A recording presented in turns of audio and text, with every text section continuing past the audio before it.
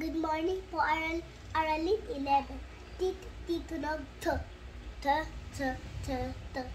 Tate, tito, tu. Tao, tasa, tama. Tabo, tabi, tito, tutubi. Mataba, ang tuta. Si, sa itaas, sa tabi, si tita. Tutubi ang tut at tuta.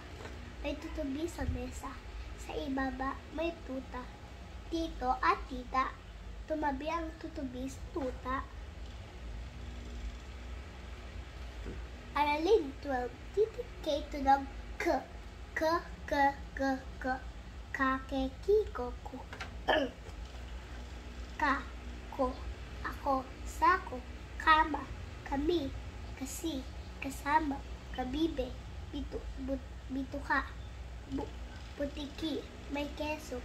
Ako ay may keso. Kiko, may keso ako sa mesa. Kika, may keso ako sa kama. Totoo, may keso ako sa sa mesa at kama. Kay Coco ang isa. Thank you.